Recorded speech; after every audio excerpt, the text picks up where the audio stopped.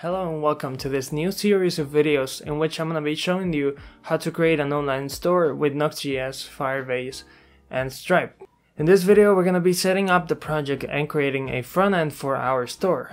We're also going to be creating a persistent shopping cart to add and remove products from it. Stick around to the end of the series of videos, don't forget to like the video and subscribe to the channel for more content coming up.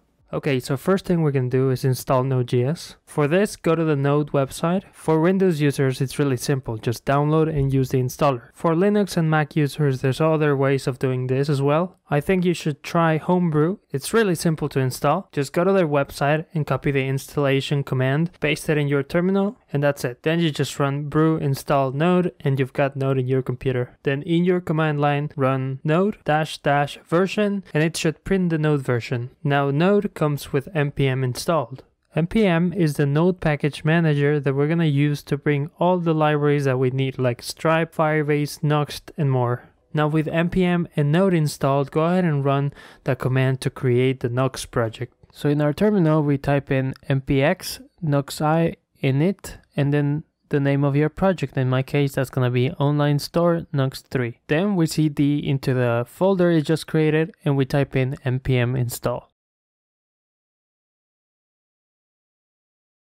And to run this project, we type in npm run dev. In my case, I'm opening the folder with Visual Studio Code, which is my text editor. And as you can see, here's all the files and folders for my project to work correctly. First thing I'm going to do with these files is open app.vue and delete the boilerplate code instead of Nuxt welcome and I'm, I'm going to type in Nuxt page. And this will be replaced with the content of the current page we're in in our site. Then I'm going to add a pages folder and in this folder I'm going to add a file called index.vue. Here's where my products are gonna be. I'm not gonna use it yet. I'll just leave it there and come back to it later.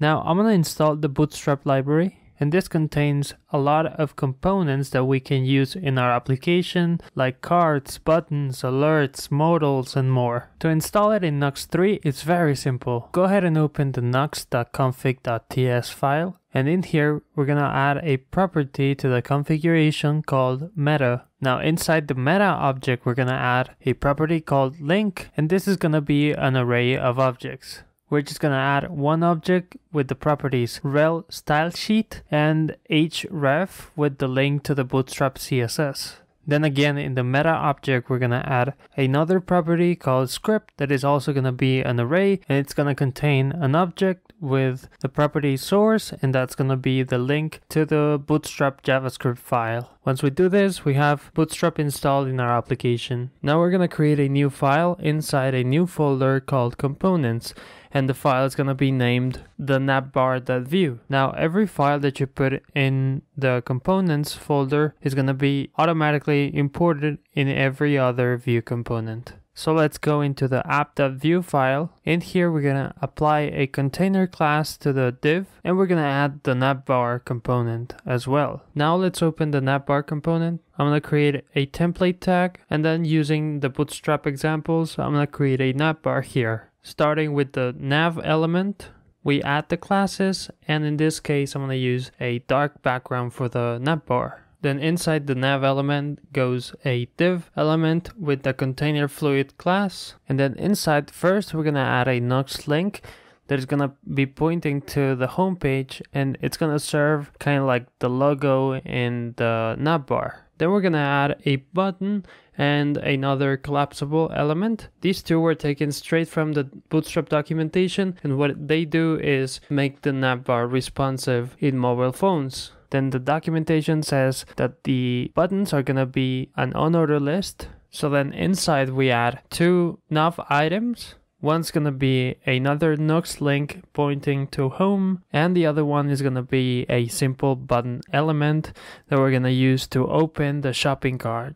Now let's go ahead and create the shopping cart component. Go ahead and add a new file called shopping cart inside the components folder. Then in the Bootstrap documentation, you're gonna find the off canvas component. Scroll down to find the right side of canvas and then copy the code, come back to your shopping cart component, insert a div element, and then just paste the code you just copied from the Bootstrap documentation. Then get the code from the button, go to the navbar component, and then below the unordered list, insert a div element with the class dflex. And in this div element, we're gonna paste the button from the shopping cart.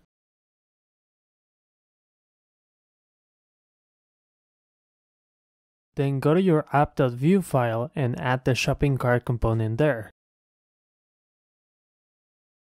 Now go ahead and run your project by typing in npm run dev in your terminal and if you go to your browser, in my case it's localhost port 3000, you should see an empty page with a navbar and a button that opens and off canvas on the right side of the screen. Now we're going to list some products in our index page, so go ahead and open your index.vue file and we're going to start building our component by creating a script tag. In this script tag we're going to export default our Vue object, then create a data object and add the products array. And in the products array, I'm to add four objects to use as an example. And these objects are all going to contain a UUID to identify them, a name, a description, a price, and a photo URL. Right now, I'm hard coding these objects, but they should come from an API call or from Firebase. And I'm actually going to do that in my next video. Right now, I'm to work with these to create my persistent shopping cart. Once we have the script tag done, we're to go to the HTML part by opening a template tag. Then we're to add a bootstrap container, then a row, and then a col MD4. This means the size of the div is to be 4 out of 12. Then we're to add a cart element with a margin bottom of 3. Then once we have the cart element, I'm to add a v-for to replicate this for every product. The v-for is to give me the current product and an index. Then I'm going to add the key attribute where I'm going to use this index. So the keys are going to be product 0, product 1, product 2, and so on. Now I'm going to use the product information. So inside the cart element, insert an image tag. This image is going to use the class card image top and the source is going to be product dot photo URL. Then below the image, I'm gonna add the card body, then a header 5 with the class card title that is gonna contain the product name, then a paragraph tag with the class card text that is gonna contain the product description, and finally a div element with the class d grid,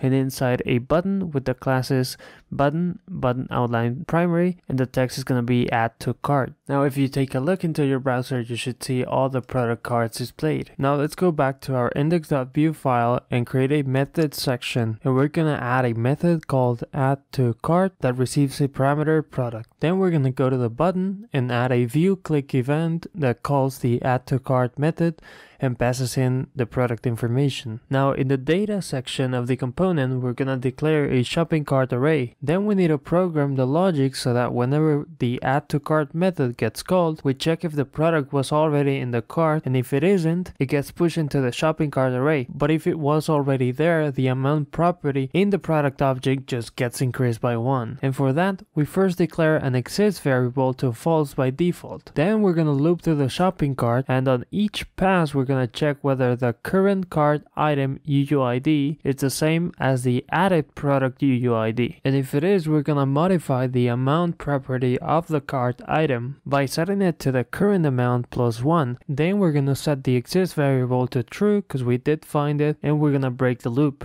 Right after the loop, we're to check whether the exist variable ended up as true or false. And in case it's false, we're to push a new object to the shopping cart with the product information and the amount set to 1. Now go to your browser and open the Vue DevTools, navigate to your component, and you're to find the shopping cart array empty. As soon as you click on any add to cart button, the shopping cart array is to get updated. And now every product that we add to the cart is to get added to the shopping cart array. But if we reload the page, the array is gonna be empty again, so it's not persisting the information. What we need to do now is save the shopping cart array to the local storage of your browser, and also retrieve it every time the component is mounted or the page is reloaded. First, to save it to local storage, we're gonna create a watch section in the component, then listen to changes on the shopping cart array. For this, we also need to set the deep property to true. Then we just call the local storage dot set item function, we set the key to shopping cart and the value to json.stringify new value. And this will convert the array to a string and save it to local storage. Then to retrieve it, just create a mounted function and inside we're gonna retrieve the shopping cart from the local storage or simply an empty array and then parse it into a JavaScript array and then save it in the shopping cart data variable. Now go into your browser and open the application tab in the developer tools, then open the local storage and you're gonna find that whenever you add a new product to the cart, the value of this property gets updated. And even if you reload the page, the information is still there. Alright, now let's go ahead and list these products in the shopping cart component. And for that, first move the shopping cart component call from the navbar into the index.vue component. You can put it inside the root container element and it should work exactly the same.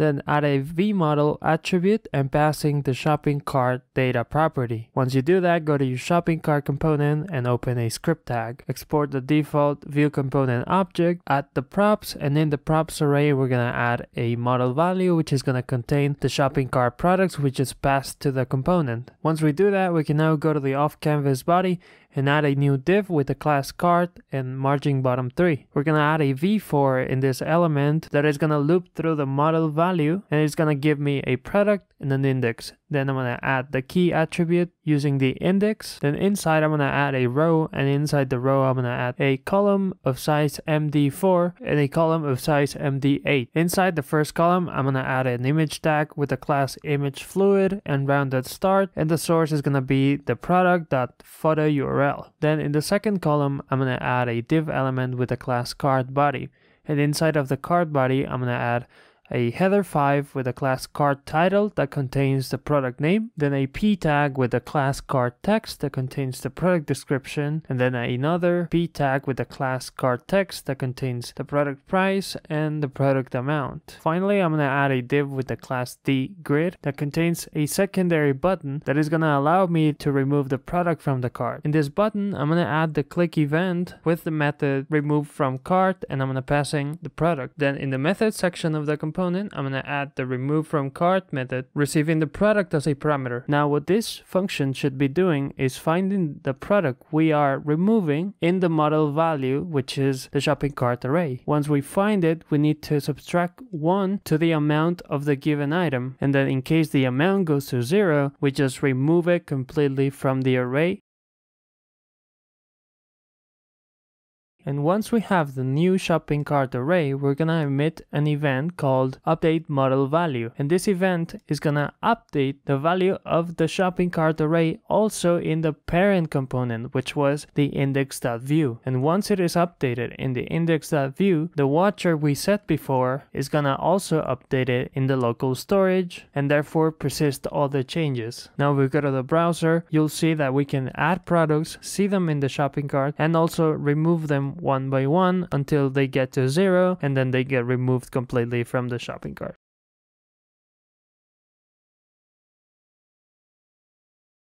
Okay, and finally in the shopping cart component, I'm gonna go ahead and add a computed property called total sum, where we're gonna set a sum variable to zero, then we're gonna loop through every item in the shopping cart, and we're gonna sum the price of each item multiplied by its amount, and this is gonna give us the total sum of every item in the cart. Then we just return the sum, and now we can print it in the HTML right beside the shopping cart title. And as you can see, our shopping cart is done. Now this shopping cart we're gonna use in the next videos of the series and we're gonna end up with a fully functional online store. So stick around for that. I'm gonna leave you the link to the blog post of this same tutorial as well as the link to the GitHub repository with all the code that I'm writing. Don't forget to like the video and subscribe to the channel and I'll see you in the next one. Bye bye.